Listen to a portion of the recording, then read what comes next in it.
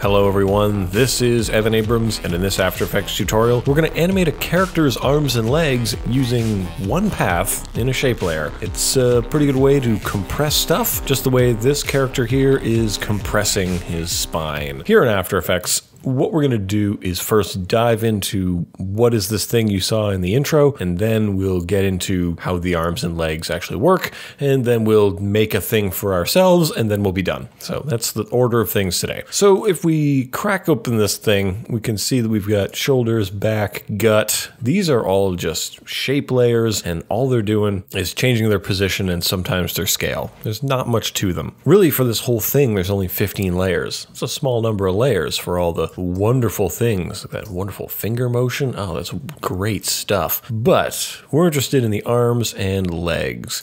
So if we look at the leg here, you can see we'll just isolate it and oh, those legs are actually two legs because I'm using a repeater to repeat those legs. And uh, you can see, like, oh yeah, pretty sweet. But within the legs, there's a lot of stuff, but there's only one set of keyframes that control the whole thing. So we're going to go through how we would make arms and legs with this, how much detail we can put on them, and now it's time to move on to phase two, like I promised, actually making something. So we're going to crack open a new composition, and uh, you know, I've been working with square things, but we can use you know regular regular framing of things, so that'll be great. And what I would like to do in here is activate a grid. So if I'm drawing in After Effects, I usually turn on a grid. And everything we're going to do, you can draw it right in After Effects. Very simple, very fast. Make sure we are also snapping to that grid. It's great to look at. It's better to snap to it. So now we need to actually draw something. So I'm going to go over here. I'm going to grab the old rectangle tool. Uh, choose a fill color, and let's make that uh, kind of torso t-shirt looking thing out here. So I'm just going to draw a lovely little rectangle. That's a square because I was holding down Shift. And I'm concerned that I didn't draw it sort of in the middle of the frame, so what you can do is you can just hit UU on any layer you've ever drawn to call up everything that's ever changed about it, and I'm just going to adjust its position to be dead center, just for my own ease of use on this thing. And I think we're ready to go. Its size is 160. Maybe let's size that up to be... Uh, like a two, mm, an even 200. That'll work for me for brain math, I think. So yeah, we got this thing out here. This is to be our torso. So I'm to hit return and write torso out there. Awesome. We made a shape layer. It's a square. We're so good. The next thing I want to do is maybe draw the hips of this person. Uh, we're doing this super simple, real low end stuff here. And I'm just going to draw a circle, move that layer up to right here, put it below the torso, call this hips, and give it a fill color that is, I don't know, like a like a dark red here. That should do it. Sweet, good to go. Nice. Very harmful to my eyes. What we need now are the arms. And these arms we will make using the pen tool. You can just hit G to call that up. Uh, we're going to use a, a nice orangey stroke. That's great. And uh, 40 pixels is perfectly good. I'm just going to click out here and then click over here. And look at that. You have made an arm. Now that doesn't look very arm-like to you. Well, well, who do you think you are? Anyway, we're going to rename this layer arms it's a good first step. Twirl down inside, and have a look at its contents. So in here, we have a shape layer one. Inside the shape layer one, we have a path, a stroke, a fill. This is a group containing stuff. And I'm going to rename it skin because this is the group that's dealing with the person's skin. And inside that group, I'm going to into the stroke and not butt caps, but round caps, please. That's what I'm looking for. Perfect. And I'm going to twirl open the path. We're not going to touch it for now. Just set a keyframe for now and we'll come back to it later. But I'm going to duplicate that group and I'm going to call this sleeve because now we're going to define the sleeve part of this person, which I will do by going into its stroke, choosing a totally different color, and then adding a trim paths so that I can trim off a percentage of the path I'm not interested in seeing which is 25% maybe. And I'm going to change the stroke to have butt caps. butt. And we'll change the width to be, no, not 8, 8, 0, 80. So now that's looking more sleeve like.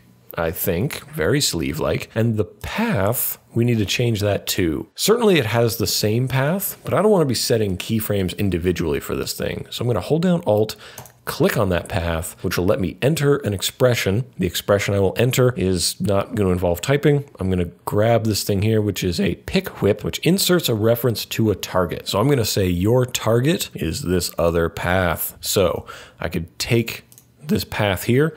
I could go ahead to one second.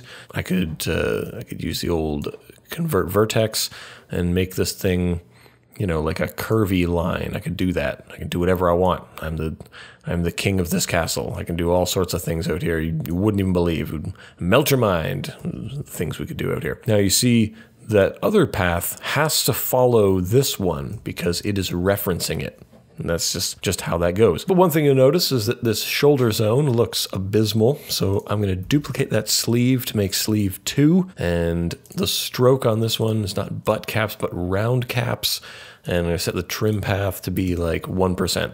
That's going to fill in that shoulder zone. So if I call up the keyframes of this arm by hitting U, you can see that it goes from straight to floopy. It just floops down. It would make more sense if this point actually came in closer like this. How's that? Like that. That's cool, I guess. I might be mindful though of the points have these handles here and these handles are being animated as well. So you can see the difference in if you extend the handles at the beginning, what that does to the rest of the animation. So he's coming in, maybe he's punching someone, punch, punch. But at, you know, two seconds, I'm going to copy and paste and put the same keyframe there. So he's going from here to there to here. I'm gonna take those, I'm gonna hit F9 to ease them which is wonderful. So now they're nice and easy. La la. And arms are great, but this person also needs legs. They need a head too, but that's that's a thing for another time. So I'm going to duplicate those arms, and instead of arms two, let's call it legs. Now twirl into legs, twirl into the contents of those legs, twirl into the skin of those legs, twirl into the path, grab that path, remove these keyframes because we don't need them. And I'm just going to move that path down here and sort of attach it to where I think it should go on this creature. I hesitate to call them a person because they look very strange. And I'm just going to set it like this.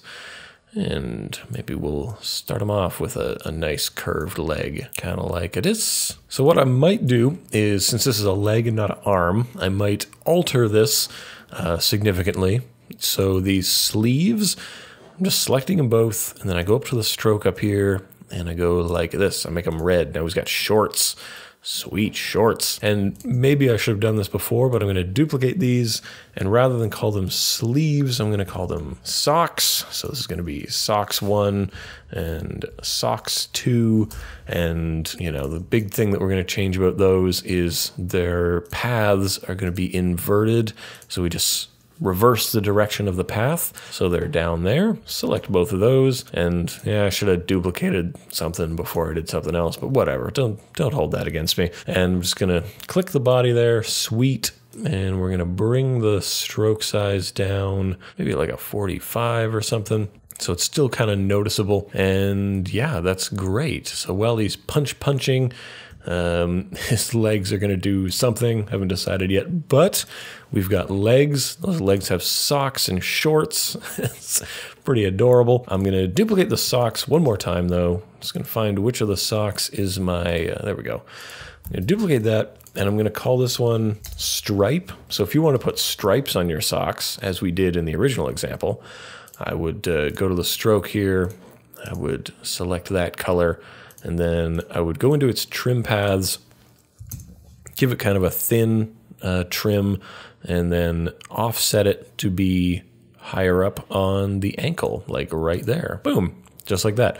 And the same principle applies that if this thing goes from a straight leg to a bent leg, all we have to do is go into the skin, twirl down, go into the path, set a keyframe here, and I think how does it how do squats go? I guess uh, let's make when the arm is out, his leg will be bent, and uh, his, her, I don't know. We don't really know the gender of this person. Otherwise, we will make them kind of straight legged, I suppose. Kind of like this. Sure. And then they kind of scrunch up like that. Neat. So let's kind of play that back. Copy this. Paste it there. How are we looking? Yeah, maybe that's something. I don't know. But the next thing to do, I think, is to give this person uh, multiple arms and multiple legs. It is kind of weird that they don't have more of them. And what I did in the example was for example, with the arms here, I can go in here and I can add a repeater to this. I'll go add repeater. And with this repeater, I can give this thing two copies because you have two arms. Go down, transform repeater one, and rather than having each instance or each projection of this stuff, we'll take a minute here and talk about the repeater a bit. The repeater is below the skin, the sleeve, and sleeve two. That means the repeater is going to be repeating, creating instances of all the stuff above it. So skin, sleeve, this, because the repeater is below it all, takes it all. And we're making two copies and putting them below each other. Change that, put them above each other. Thanks. And I could repeat the just the sleeves. We can do that. Uh, but if you've got it under everything, repeat everything above it. What it then does is it changes something about each subsequent uh, iteration. So it could be we want to change the position. We don't. So put that to zero.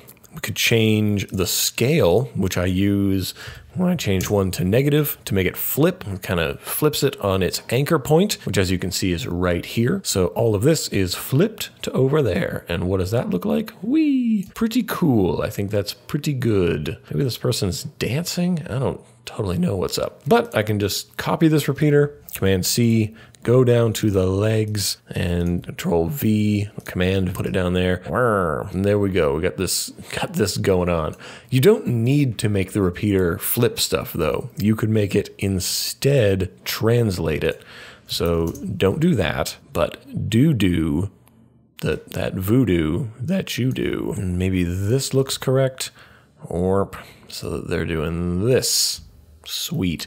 So the next thing to do is to put some motion to the arms and the legs and all this. I think the legs should be parented to the hips, the arms should be parented to the torso, the torso should be parented to the hips as well. And if we go here to the middle time, uh, this is sort of where the ground is. Call my rulers, Command R, put a ruler here just so I know. And hips, position change. With the straight legs, you're in the right position. With the bent legs, your new position should be down here, kind of like this. I think so. And then we copy paste that keyframe like this. And how does that look? We're wee. Perfect. That's good. That's good. I'm just going to shorten my uh, work area to be right there. So if we play this back, whoo, ha, whoo, neat. You can grab everything, hit U, call up all the keyframes, and then we can uh, go into the graph editor. All of them are eased, so grab all their handles and push them like this, and then whoo, ha, whoo, ha.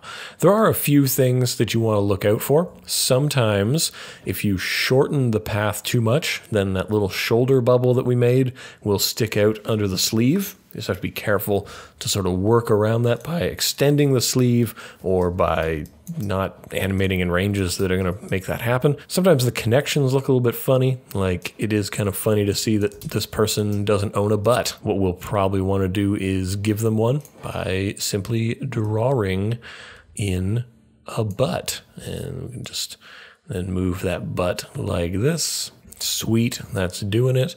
That looks a little bit more anatomically correct. They're also missing a head. Can't believe I missed that. You know, I think it really tells you what I think is important. And uh, we'll just go like this. Make it a head. Sweet. And make that head like that. Awesome. And we put that on the torso layer so that it's in a good zone. And yeah, we've got this person just I don't I don't know what this exercise would be called, but it looked kind of funny. And They don't have shoes because I find drawing shoes to be incredibly difficult. But the point of this tutorial was to teach you how to animate arms and legs using a shape layer and just one set of keyframes. And I think we have accomplished that. So if you've had trouble with this, please let me know in the comments, ask questions. I'll try to get you through it as best I can. And if you really enjoy yourself on this channel, please subscribe to it. If motion graphics and After Effects are things you want to learn, subscribe to this channel. New content going up all the time. And check out the back catalog of stuff. There's a lot of great things on here. This is tutorial 118, so there's at least something else good on this channel, I hope. Uh, if you have questions about After Effects or motion graphics in general, tweet at me at EC Abrams or get involved on the Facebook page. Send me comments and messages on there. And if you want to get your hands on the file that was used to make this thing you're watching now and the thing at the beginning, head on over to evanabrams.com. So links to that in the description or in the cards or something. And like I said before, if you enjoyed this, please subscribe to the channel and you won't miss any upcoming tutorials. And there will be a bunch. So thank you so much for watching. I've been Evan Abrams, and if you subscribe, I'll see you around the internet.